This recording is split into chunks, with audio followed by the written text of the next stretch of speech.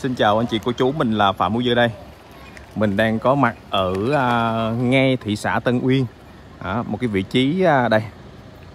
Khỏi nó đâu xa ha, ngay sát mí khu nghiệp mang tên là Sóng Thần 3 à, Khu nghiệp Sóng Thần thì anh chị biết rồi, ở Bình Dương là Nói đến Sóng Thần thì chắc là ai cũng biết hết. À, Sóng Thần 1, Sóng Thần 2 Và bây giờ là khu nghiệp Sóng Thần 2, Sóng Thần 3 ha Là nằm ở à, à địa điểm à, vị trí là của thị xã Tân Uyên nó nằm kẹp giữa à, nằm sát mí với là thành phố chị ha. Tức là bên kia khu nghề chính là thành phố mới Bình Dương.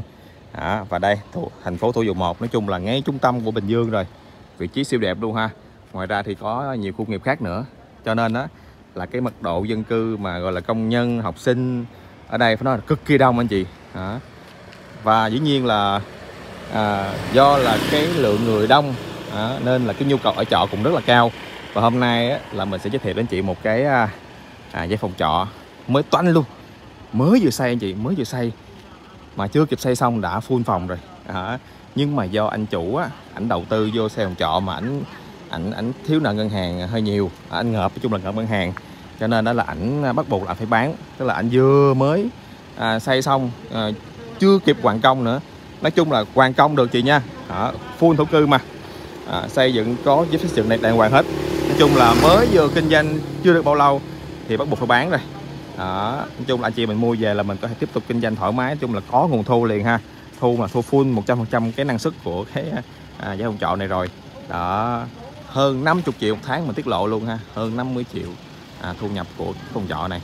Đó rồi thì à, bây giờ mình sẽ quay chi tiết. Anh chị nào mà đang có nhu cầu muốn mua vừa đầu tư mà vừa muốn có thu nhập thụ động hàng tháng luôn á đó, mà muốn đầu tư đất ở Bình Dương á đặc biệt là ngay trung tâm luôn á ngay sát bên khu nghiệp thì à, hãy xem hết video mình ha. Và liên hệ trực tiếp chính chủ không qua môi giới.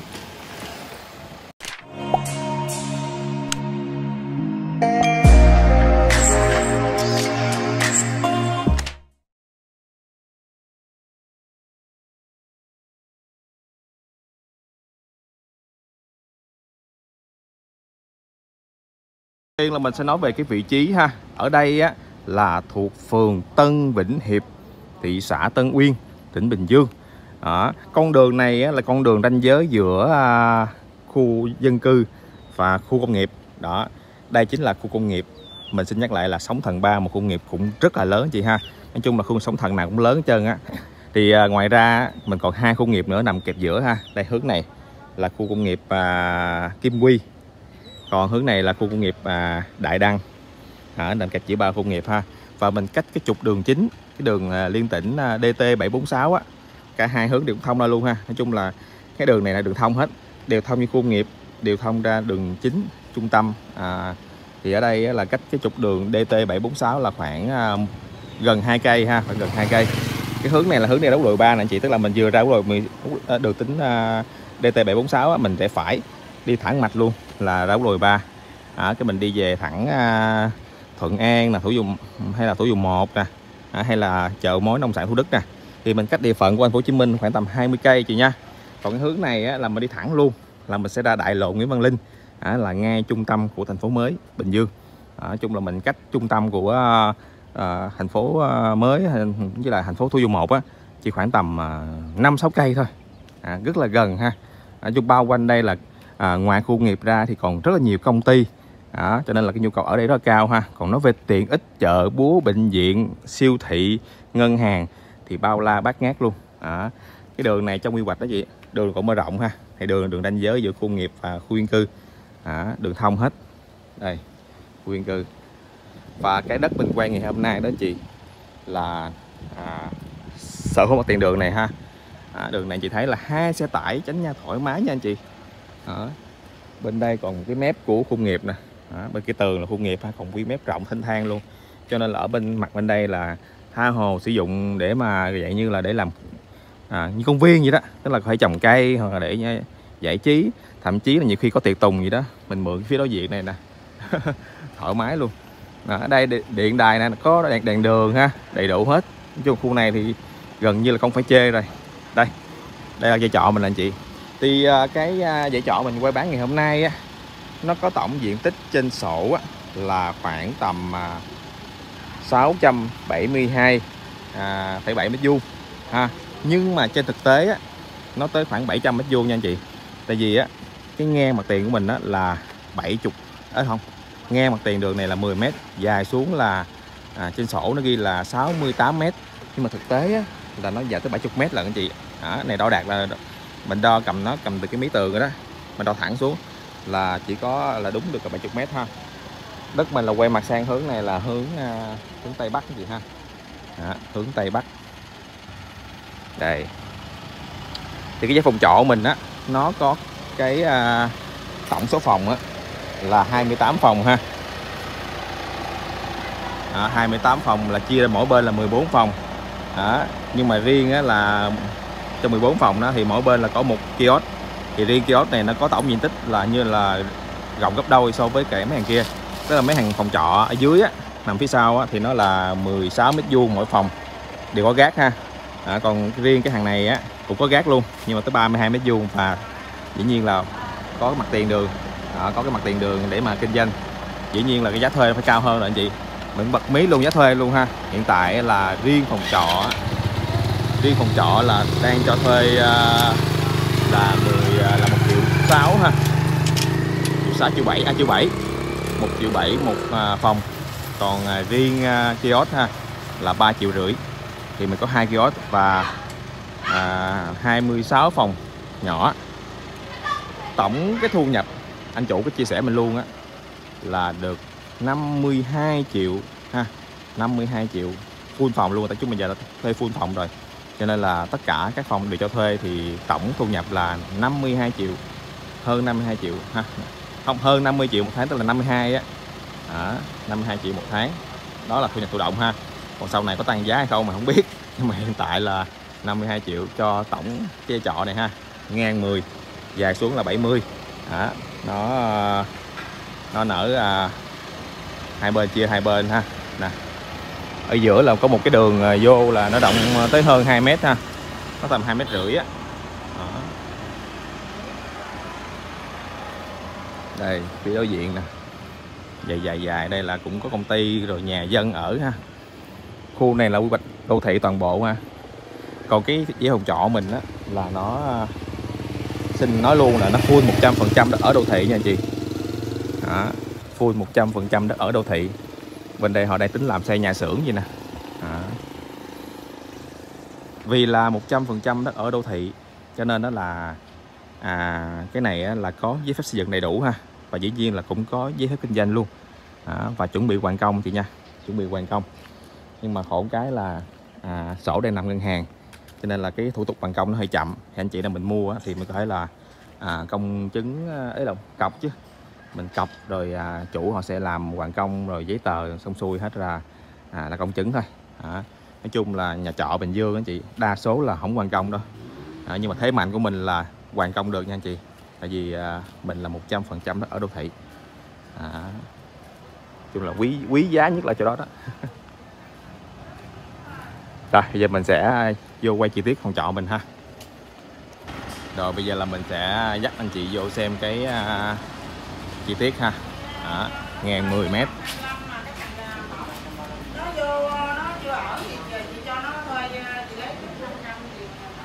Đấy, chia làm hai dãy mỗi bên là à, mỗi bên là 14 phòng. À, tức là 13 phòng trọ với một kiosk. Bên đây cũng vậy ha 13 phòng trọ với một kiosk. À, tức là tổng cộng là 28 phòng ha. 28 phòng. À, mỗi bên là một kiosk. Ở giữa mình là một cái hành lang. Hành lang này chắc cũng phải uh, ngang 2 mét ha đó là mỗi phòng như anh chủ có nói là mỗi phòng là 10 16 mét vuông. À, 16 mét vuông khá là rộng ha. Đó, hiện tại là một số phòng là công nhân người ta còn đi làm. Đó, người ta khóa cửa rồi.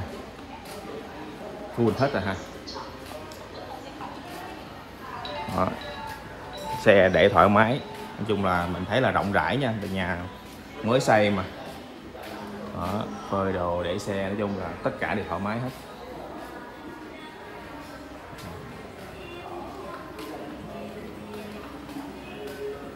Dài xuống uh, như mình nói ban đầu á dài từ kia tới 70 mét lần đó.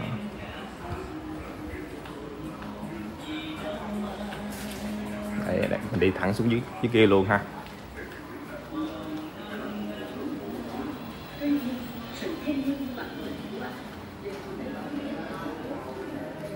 Đây.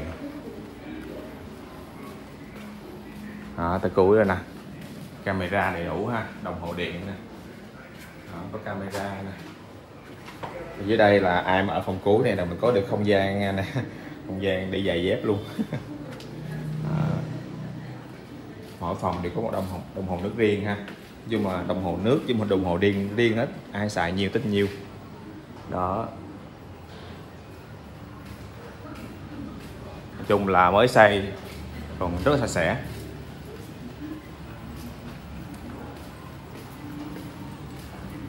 Này đêm ờ, mình có khóa cửa lại không anh? À. Có bật đèn. Tức là mình có quy định thời gian mình à, 6 giờ sáng đến 11 giờ đi à tức là 11 giờ đêm đóng cửa 6 giờ sáng mở cửa cho công nhân à, đi làm. Dạ, rồi để giờ, giờ kiếm phòng nào đó vô xin vô quay đi. Giờ mượn một phòng quay đi ha. Tức là phòng à, mình làm mỗi trung bình là 16 mét vuông đúng không anh? 16 mét vuông. Nó có à, nhà nhà vệ sinh riêng hết. Đó. rồi nói chung không gian bếp nút là đầy đủ. Nói chung là có thể tự nấu nướng tại chỗ. Rồi một cái gác. À gác này mình đúc hả anh. À. Đi. à à, đâu đâu. À đây có, có cầu thang. À, cầu thang hơi dốc xíu. Rồi đây. Trên đây là có một cái không gian ờ, gác cũng có một phòng ngủ thôi mình để đồ được ha. Nói chung là phòng này thì mình thấy là gia, gia đình à, hai chồng với hai đứa con ở thoải mái. Rồi rồi. Nói chung là còn mọi thứ còn sạch sẽ. À, à tức là trên à, trên trần nó hơi cao luôn à. Trên trần nó hơi cao còn gác thì là đúc. Nói chung là kiên cố hết. Rồi cảm ơn à, nhiều nha tắt đèn rồi rồi. Cảm ơn. Tắt đó. Vậy khi mà đi cũng được á.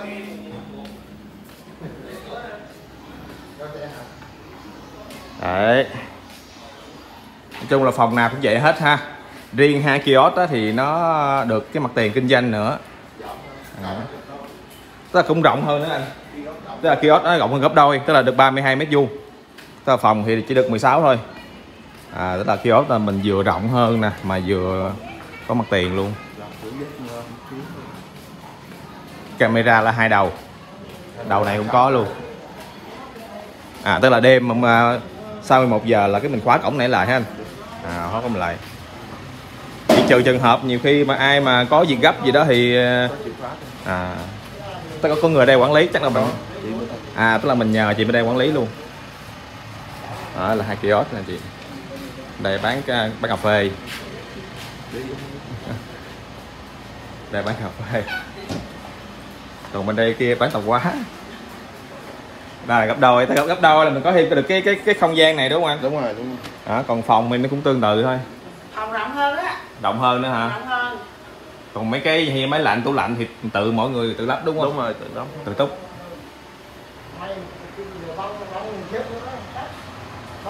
đó, tức là vừa ở rộng rãi, vừa kinh doanh được. Bên kia cũng tương tự luôn ha, bên kia thì à, bên bán không tạp quá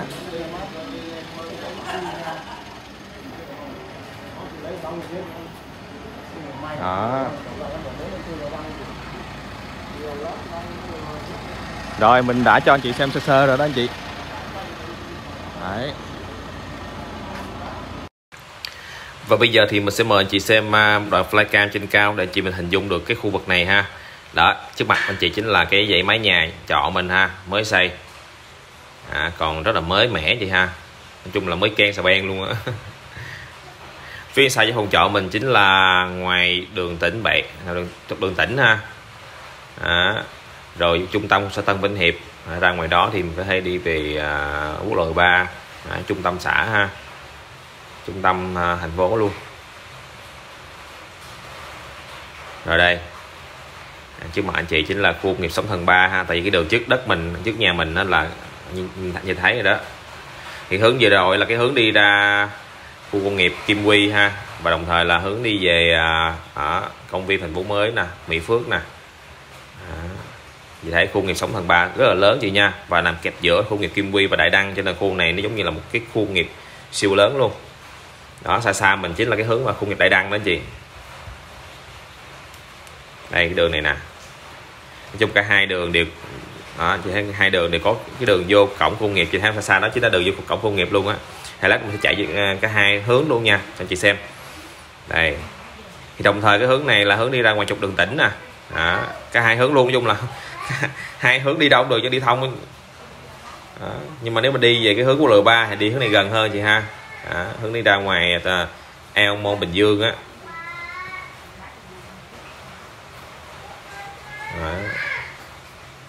Chung là quy khu vực này là quy hoạch ở đô thị hết chị ha.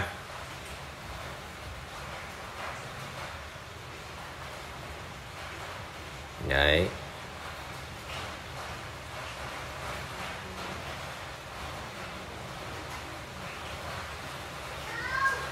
Nói chung là cái vị trí này thì quá đẹp rồi hàng sát mí với khu nghiệp mà ngay gần hai đầu à, cổng và khu nghiệp luôn cho nên công nhân mà cái giờ tan tầm á, là công nhân đi đi làm hoặc là đi đi đi, đi về đến chị là cái đường này là cực kỳ nhộn nhịp luôn. Thời điểm mình quay thời điểm giữa trưa cho nên là dĩ nhiên là nó không có đông đâu. Nhưng thời điểm mà mà đi làm á, thì chỗ này đông lắm. Nói chung là kinh doanh mua bán sắp tấp nập phòng trọ thì gần như là không lúc nào mà mà, mà, mà không full hết á.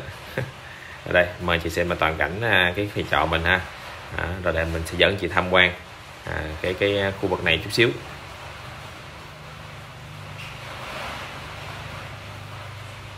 Đó này nhìn thẳng vào khu nghiệp vậy ha. Đó cận cảnh luôn. Rồi thì mình đã quay xong cái à, nhà trọ mình rồi ha. Thì à, trước khi mình dẫn chị tham quan khu vực này à, thì mình sẽ báo giá luôn nha. Hiện tại là cái dây phòng trọ mà có cái diện tích được công nhận trên sổ là 672 mét vuông. À, thì uh, chủ anh chủ đang kêu giá là 15 tỷ 3 nha anh chị giá này là là giá để kêu bán à, không nói thách. Cho nên là cũng chỉ còn bớt giấy tờ này nọ thôi. Đó tại vì thật ra nếu 15 tỷ 3 mà anh chị khử chia ra mét vuông á thì nó chỉ khoảng tầm à, 20 à, mà chia cho 672 được công nhận nha. Là chỉ khoảng tầm 20 à, triệu hơn 22 22 triệu anh chị. Khoảng 22 triệu mét vuông thôi. Mà đây là quy cái dòng trọ đã kinh doanh hết rồi chứ không phải là đất trống chị nha. Đó. tính riêng đất trống mà khu vực này thì mình nghĩ cũng không rẻ đâu. Đó. Nhưng mà nếu mà còn chia 700 mét vuông thì còn rẻ hơn nữa. Đó. Mà dĩ nhiên thì à, đất đai không qua môi giới rồi cho nên là anh chị mình cứ thương lượng ha. Mình nghĩ là nếu mà anh chị thiện chí thì chắc chắn cũng còn thương lượng được à, không ít thì nhiều. Thì à, bây giờ là trước khi mình dẫn anh chị tham quan mình sẽ dẫn anh chị tham quan hai đầu ha. Tại vì cái hai đầu hai hướng đều vô cổng như khu nghiệp này nè thì mình sẽ đi à, có hai đầu luôn. À, coi à, như thế nào ha. Nhưng mà trước khi đi á thì mình sẽ bay lại cam lên đi. Bay lại cam cho chị xem toàn cảnh đây đã. À, đây mình sẽ cho chị xem lại cái à, cái cái cái, cái trọ mình ha. À, chiều ngang là 10m dài xuống là 70m full thổ cư. Rồi đây.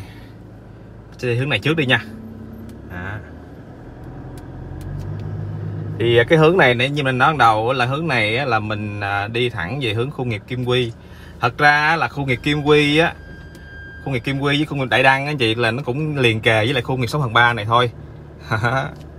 Và hướng này là mình nói rồi hướng này đi về hướng à, đại lộ Nguyễn Văn Linh. Đó là ra trung tâm của công viên thành phố mới. Và đồng thời là hướng này cũng là đi về hướng Mỹ Phước nha anh chị. À, tức là vừa qua công viên thành phố mới là mình sẽ vô những cái khu công nghiệp Mỹ Phước và khu đô thị Mỹ Phước. Đó. Đây đường như chị thấy là hiện tại đường rộng thoải mái. Chung đường thông thương hết tất cả gì ha. Và như mình nãy mình nói ban đầu là cũng đi ra thẳng cái à, khu à, đường DT 746 à, ra DT 746 thì một hướng đi về quốc lộ 3 một hướng đi về Uyên Hưng. À, thị trấn Uyên Hưng đi về hướng à, Bắc Tân Quyên đó anh chị. Đây mình gần tới cái cái, cổng của tại vì cái cái khu nghiệp nó có nhiều cổng lắm anh chị. Đây đây đây như đây một cổng nè anh chị. À, hệ thông ra ngoài đường DT 746 và cổng. Đây. Một cổng ha. Đó này thẳng vô cổng khu nghiệp à, sống thần ba nè anh chị. Còn đi thẳng ra nữa là hướng đi ra khu à, công viên đại lộ ha. Rồi bây giờ là mình à, lại quay à, quay đầu lại. Đó mới đi mới đi ngang qua lại cái cái giao trọ mà anh chị. Thì mình sẽ tiếp tục cho chị xem cái à, cổng tiếp theo à. nói chung là cả hai cổng vô khu nghiệp sống thần ba này á, nó đều cách mình chỉ có khoảng tầm mấy trăm mét thôi. Đó. khu nghiệp thì sát mép rồi nhưng mà cổng vào thì á, có hai đầu ha. Thì hướng này là hướng đi à, ra cũng ra đường à, đường tỉnh 746 và hướng này là khu nghiệp Kim Quy nè. À, và hướng này thì mình đi ra ngoài hướng quốc lộ 3 gần hơn ha. À, quốc lộ 3 thì mình sẽ đi về hướng à, Thuận An nè. À, đi về cầu vượt Bình Phước nè. Thì đấu đội 3 mà. À. đây. Phải ha? Đấy. Tầm 300 mét thôi ha. Nói chung là cả hai hai đầu đều khoảng tầm 300 mét thôi là mình sẽ ra cổng. Đây một cổng rồi anh chị. Đó. Cổng khu nghiệp nè rồi giờ đi thẳng nữa là sẽ ra đường à, DT 746 vậy nha. Ra ủy ban xã rồi chợ rồi ngân hàng với quá xanh chung đầy đủ hết. Rồi thì à, nói chung là mình dẫn chị tham quan đây thôi sơ sơ đây thôi. Tại vì nãy chị thấy đây cam chị thấy là khu này nó như thế nào rồi. À, còn chủ yếu là mình dẫn chị gọi là ừ, tham quan tương đối thôi. Anh chị mình cứ gõ trên Google Maps là cái khu người sống thần ba à, là chị mình sẽ biết là cái vị trí ở khu vực khu vực này nó đắc địa đẹp như thế nào rồi đúng không? Nhưng mà lát nữa là mình sẽ cho anh chị xem sổ thông tin quy hoạch và vị trí. À, cái đó mới quan trọng anh chị. À, khu dân cư này chợ vậy thấy không? Cà phê nè chạy ra xíu đầy đủ hết tiện ích luôn. Rồi bây giờ mình cho anh chị xem à, tóm tắt phần sổ thôi ha. À, còn mà đầy đủ sổ sách á à, mà có thêm à, giấy tờ à, giấy xây dựng nè giấy kinh doanh nè nói chung là đầy đủ giấy tờ hết nha anh chị. Thì anh chị mình liên hệ bên phía à, anh chủ để mình xem cho đầy đủ nha. À, và trong video này thì mình chỉ quay sơ sơ thôi. À, thì đây đây là cái em đất mình anh chị. Đó. Trên sổ ngang 10 dài là 68 à, trên sổ nha thực tế là dài hơn 70 lần. Đó. Thì à, đường hiện tại là cái đường đất nhưng mà đường bê tông rộng ha có lầu giới luôn ha. À, lầu giới mở rộng đường. Đó, thì trên sổ mặc định của nó là có 200 thổ cư à, nhưng mà anh chủ có cập nhật à, tức là có lên thêm ở à, cập nhật trang tư á, là mình lên thêm full luôn. Đây ha đây là thông tin là trang tư nè anh chị. À, là cập nhật thêm à, là lên hết luôn. À, 422 nữa. À, tổng cộng là 622 thổ cư. À, full luôn anh chị ha. À, à đây anh chủ có gửi cho mình phần cập nhật phần hoàn công nè ha. Tức là sau lúc thời để mình quay video là khoảng vài tháng sau thì À, đã xong thủ tục hoàn công. Đó mình cho chị xem luôn ha. Đấy. Vậy là bây giờ là về tính pháp lý của cái giải phòng trọ mình là hoàn toàn ok rồi ha. Hiện đây mình cho chị xem cái thông tin quy hoạch của khu đất mình anh chị. Đó đất mình anh chị. À, phủ à, đất ở đô thị toàn bộ ha. Đối diện là đất của khu nghiệp này thấy không? Cái màu à, màu cam này nè khu nghiệp ha. Đó. thì cái khu khu nghiệp sống thần ba này thì nó nằm giáp đó một bên là của hàng khu nghiệp à, hai khu nghiệp à, mà mình nói đó à, nói chung là ba khu nghiệp nằm liền kề nhau. À, đất mình là nằm ngay giữa ba khu nghiệp chị nha ha. À, đây. Trẻ không? Nói chung là về thông tin quy hoạch thì rõ ràng rồi. Đó. Hoàn toàn ok chị ha. Đó. Nói chung là chỉ có mở à, lộ giới mở rộng đường trong tương lai thôi. À, không biết khi nào mở. À, mở thì cũng được thôi. Mà không mở cũng không sao. Tại đường hiện tại cũng quá rộng rồi đây cuối cùng mình cho chị xem trên à, bản đồ Google Maps để chị mình hình dung được cái cái đất mình ha. À, đây cái khu đất mình nằm vị trí này ha. À, đường cái đường bờ ranh với lại khu nghiệp sống hàng ba nè. Đó thì trong video mình có chạy lên hướng này á thì là ngay cổng khu nghiệp Kim Quy. Ê, cổng nghiệp hướng ba. À, đồng thời là hướng với khu Kim Quy vậy không? Đó kim quy này nó cũng nằm à, một bên của 6 hàng 3 còn hướng này là cũng vô khu nghiệp luôn. Và đồng thời là hướng đi về khu nghiệp đại đăng nè. À, cũng nằm sát bên sát bên với lại à, cái 6 ba 3 luôn. Nói chung là ba khu nghiệp và nằm liền kề nhau cho nên tạo lên một cái chủ khu nghiệp rất là lớn ha. Thì bên sau lưng khu nghiệp này nè đó là là công viên thành phố mới Bình Dương nè anh chị. Đó đồng thời là hướng đi về Mỹ Phước 3 nè anh chị Mỹ Phước nè. Đó, khu đô thị với khu nghiệp Mỹ Phước nè. Đó. Mỹ Phước anh chị biết rồi siêu lớn luôn. Đó còn đây đây là trung tâm của thu một nè. Đó, vậy ha, không? Nằm giữa trung tâm thu một nè. Đó, Mỹ Phước nè rồi à, khu Thuận An Dĩ An nè. Nói chung đây là một cụm một cụm à, đô thị đại đô thị siêu lớn của Bình Dương vậy ha. À, bao gồm là à, ba à, thành phố và hai thị xã. Ba thành phố và hai thị xã ha chị ha. Là à, chị thấy là nó nằm nó nằm liền kề nhau. Đó, nó tạo lên một cái siêu đô thị rất là lớn ha. Mà trong tương lai thì Bến Cát và Tân Nguyên thì cũng chắc chắn sẽ là thành phố luôn. Tại vì hiện tại là à, hai cái thằng này là phải nói là tốc độ phát triển về à, công nghiệp là cũng rất là lớn. Ở như chị thấy là hiện tại Tân Nguyên là công nghiệp à, quá lớn rồi. Đó. rồi thì à, nói chung là về cái vị trí thì mình chỉ nói sơ sơ thôi. Thật ra chỗ này mình tin chắc là anh chị mình sẽ biết ha. Đó, nhắc đến khu công nghiệp mà sống thần ba cũng như là những khu công nghiệp như là Đại Đăng hay là Kim Quy là chị biết rồi. Đó, nằm ngay trung tâm của à, giáp nó nằm giữa à, Tân Nguyên và à, thành phố Thủ Dầu Một à, cho nên chị biết là cái khu này nó đắt đề như thế nào rồi ha. Ờ, Đó, chung bây giờ chỉ bàn về giá thôi. Thì anh chị mình cứ liên hệ bên phía anh Tuấn ha. Ờ, Đó, chung là mình thấy là đây là một cái sản phẩm mà đáng để mua chị ha. Đó, thì uh, chắc chắn là giá còn thương lượng cho nên anh chị mình liên hệ phía anh Tuấn à, để làm việc trực tiếp chính chủ ha không qua môi giới. À, rồi thì mình xin phép kết thúc video. Anh chị nào có nhu cầu muốn quay bán nhà đất chính chủ giống như cái video này á, thì có thể alo cho mình ở số điện thoại là 0933 230243 và số Viettel là 0373 230243 à, cảm ơn chị mình đã xem hết video này nha. Chào mọi người.